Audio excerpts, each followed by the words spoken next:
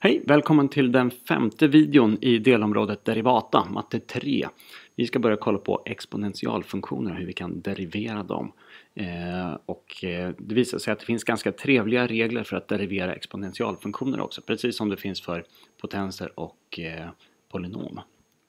Men först tar vi ett steg tillbaka och funderar på varför är derivata någonting användbart egentligen? Jo, derivata, det vill säga ändringstakt, är eh, användbart i en rad olika fall. Till exempel när vi tittar på kronans värde så är ändringstakten samma sak som inflation. Om vi har en eh, pryl som rör sig på något vis, ofta i fysik håller man på med sånt. Ändringstakten för läget hos den här prylen, det är samma sak som hastighet. Om vi har rörelsemängd, också inom fysik. Ändringstakten för rörelsemängd är samma sak som kraft. Eh, om du inte kommer till det ännu i fysiken så kommer du att eh, upptäcka det snart och det är ganska häftigt tycker jag. Eh, ändringstakt eh, inom biologi och sådana saker. Här har vi eh, bakterier som växer. Det kan vara jätteintressant med tillväxthastighet hos bakterier och det beror bland annat på tillgång till näring. Då kan man sätta upp modeller för att liksom, ja, ehm, beskriva hur bakterierna tillväxer beroende på tillgången till näring. Samma sak om man tittar på spridning av sjukdomar. Eh, det beror bland annat på hur många som fortfarande är friska. Ju fler som är friska desto större möjligheter för sjukdom att sprida sig. Eh, så det här är också sådana grejer vi kan modellera med hjälp av att titta på ändringstakt. Eh, ekonomi, upp och nedgång på börsen. Det är ofta mycket mer intressant än aktiernas faktiska värde. För att det är ändring i värde som, som liksom är intressant när man handlar med aktier. Om man tycker sånt är kul. Så, hittills, det vi har jobbat med hittills är det så här, vi har fått en begreppsmässig förståelse av derivata, att det handlar om ändringstakter, man kan titta på lutning på, på tangenter eller på kurvor eller sådär. Vi har en generell definition för derivata som omfattar gränsvärden, ganska tekniskt, ganska tungt men också sådär användbart kanske. Och sen har vi något som definitivt är användbart och det är snabba smidiga regler för att derivera potensfunktioner och polynom. Och vi ska, målet med det här och eh, de få nästa videorna, två till tror jag, är att få liknande regler, så här, snabba smidiga regler för att derivera exponentialfunktioner. Dit ska vi. Så. En snabb recap på exponentialfunktioner. Vi skriver dem ofta så här. C gånger a upphöjt e till x, funktionsuttryck. Eller ibland, ibland c gånger a upphöjt e till kx. Det kan vara någon konstant eller faktor här framför också. Vad heter det? Koefficient. Ehm, de är extremt vanliga Eh, exponentialfunktionen dyker upp överallt när man har någorlunda komplexa system. Eh, jag skulle välja en funktionstyp som jag skulle jobba med hela tiden. Om jag var tvungen att välja en så skulle det bli exponentialfunktioner. Eh, vi känner igen dem på att de ökar eller minskar med en konstant andel hela tiden. Kanske ökar med 20% eller minskar med 5% hela tiden. Det betyder också att de fördubblas eller halveras med jämna steg. Och om du har studerat exponentialfunktioner så vet du att om de ökar så har de en tendens att skena iväg så småningom. Vi kan se den här blå kurvan här bara sticker iväg okontrollerat. Ehm, så beter de sig. Det är också ganska intressanta egenskaper.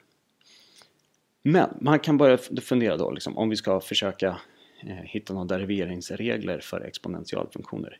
Hur beter sig derivatan för en exponentialfunktion? Det ska vi kolla på här. Jag har ritat upp en enkel exponentialfunktion. Startvärdet är 1. Så konstanten c framför det här är en etta bara. Och den här ökar med 20% för varje steg i x-led. Så här, kurva som drar iväg så här.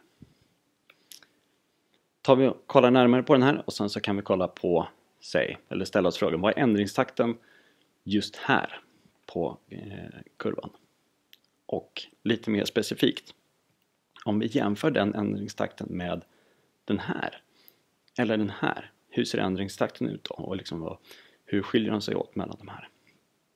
Ja, om vi går ett steg framåt, nu tar jag ett helt steg framåt, jättelångt om man jämför med lilla h vi har använt vid derivata. Då har funktionsvärdet ökat med 20%. Här har det ökat med 20% till och det kommer fortsätta öka med 20% för varje steg framåt. Ehm, ändringstakten just här är knappast 20% eh, för den, eller, Eh, men så här, med ett steg fram hit i alla fall så har den ökat med 20%. Det är rimligt att tänka sig om, om liksom ändringstakten eh, eller om den ökar med 20% för varje steg framåt i x-led så är det rimligt att tänka sig att ändringstakten också är 20% högre när man har gått framåt ett steg. Eh, så här, jag backar tillbaka här. Här har vi en viss ändringstakt, jag vet inte vad den är, men den borde vara 20% mer här eftersom den, har liksom, den kommer öka 20% ända fram hit. Och liksom en ökningstakten här borde vara 20% mer än här för att den ökar snabbare och snabbare. Den ökar 20% snabbare här än där, tänker jag. Och så tänker jag att det fortsätter på det viset. Det betyder i så fall att f' av x, derivatan till den här funktionen f av x lika med 1,2 upphöjt till x, det borde vara någon konstant, jag vet inte vilken, gånger 1,2 upphöjt till x. Derivatan borde öka med 20% för varje steg framåt, precis som funktionen självt. Då kan vi skriva som att det är en konstant gånger funktionen självt. Och det här visar sig stämma. Eh, det är lite hand-waving arguments här, men det, det visar sig stämma. Derivatan av en exponentialfunktion är någon konstant gånger samma funktion. Och det är precis vad jag tänkte säga här. Det är någon konstant gånger samma exponentialfunktion. Den här konstanten är olika eh, för olika eh, baser eller förändringsfaktorer i eh, exponentialfunktionerna. Så vi kan inte liksom hitta det här värdet, den här konstanten k en gång för alla för att det är olika för olika funktioner. Men, men eh, någonstans så finns det en funktion, en bas eller en förändringsfaktor som gör att derivatan för funktionen är samma sak som funktionen själv. Hittar vi den så kommer vi kunna skapa praktiska genvägar för derivering och den kommer vi hitta. Ja, okej. Okay. Först kan man fråga sig, går det att hitta? Ja, det går att hitta ett sånt tal. Och vi kommer att hitta, hitta det.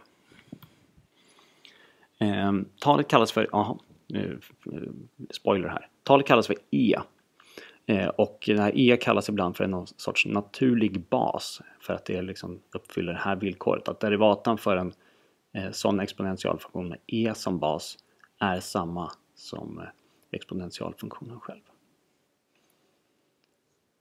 Right. Det här talet E ska vi kolla lite närmare på. Det finns på din räknare. Det finns på alla välsorterade räknare i alla fall. Och det är ungefär det här. Eh, det är ett lika häftigt tal som pi kan man hävda. Eh, men det är väldigt eh, mycket ovanligt att folk har massa decimaler på e. Och det är för att folk som kommer så långt i matte att de lär sig om talet e tycker inte att det är så häftigt att lära sig decimaler utan till. Skulle jag gissa. Skriver e så ska du göra det kursiverat om du gör det noggrant. Och det här då är det som utmärker e. Derivatan för e upphöjt till x är e upphöjt till x. Eh, här skulle vi kunna stanna lite grann. Eh, jag, men jag kommer visa hur man kan hitta värdet på E på ett par olika vis.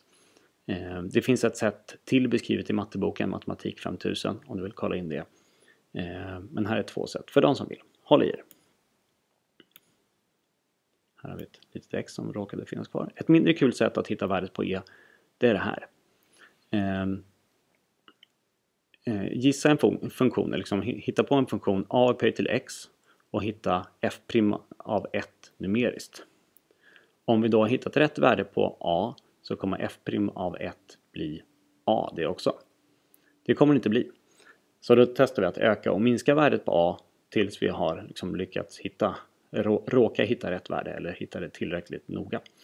Eh, så jättekul. Vi kan börja gissa på 2, 2,5, 3 och så märker vi att det blir för mycket. Då minskar vi till 2,8 och sådär. Det eh, tar ganska lång tid och inte jätteroligt. Men man kan göra så. Här är ett lite roligare sätt. Eh, vi hittar på ett polynom som liknar e upphöjt till x. Här jag glömt kursivera. Aj, aj, aj. Eh, det vill säga, vi hittar på ett polynom som är sin egen derivata. Det kan vi göra så här. Eh, vi tar ett polynom som har en konstant 1 plus x upphöjt till 1 delat med 1 plus x upphöjt till 2 delat med 1 gånger 2 plus x upphöjt till 3 delat med 1 gånger 2 gånger 3 och så vidare. När vi deriverar den här, då kommer den termen försvinna. Men den här termen kommer att bli en etta. Vi multiplicerar med 1, då försvinner nämnaren. Och så minskar vi nämnaren med ett steg, så var x upphöjt till 0. Då får vi den här ettan. x upphöjt till 2 delat med 1 gånger 2. När vi deriverar den, multiplicerar med 2, försvinner den. Och så har vi x upphöjt till 1 delat med 1. Då har vi precis fått den här termen. Och så vidare, och så vidare, och så vidare. Oändligt många termer, det vill säga det är egentligen inte ett polynom. Eh, men vi har fått någonting här som i princip är samma sak som e upphöjt till x. Och sen vet vi att e upphöjt till 1, det är e. Så testar vi här att sätta in f av 1 i den här funktionen. Så kan vi approximera det med ett antal termer. Blablabla, hur många vi nu orkar göra. De sju första termerna ger det här värdet på e. Man kan ju hitta på fler värden om man vill. Man kommer, eh, det kommer konvergera ganska snabbt det här för att nämnaren är så galet stor. Eller blir så galet stor. Här, en 720 del är ganska, ganska litet och det växer, eller nämnaren växer jättesnabbt. Ja, kul kul! Så kan man göra om man vill hitta talet på e, eller värdet på e numeriskt. Sammanfattat, vad har vi lärt oss? Vi har lärt oss att om vi har en exponentialfunktion så är derivatan någon konstant gånger den exponentialfunktionen. Och vi vet ännu inte ett sätt att hitta den här konstanten, men vi kommer att hitta den. Eh, och speciellt så vet vi att då, eller så här, exponentialfunktioner har derivater som också är exponentialfunktioner. Och det finns något tal, e, som kallas för den naturliga basen, som gör att eh, e upphöjt till x är sin egen derivata. Talet e är värt att känna, igen, känna till och det är ungefär 2,7. Närmare precision än så kommer jag inte be av någon. Det var det. Introduktion till derivata för exponentialfunktioner. Vi ses i nästa video. Hej då!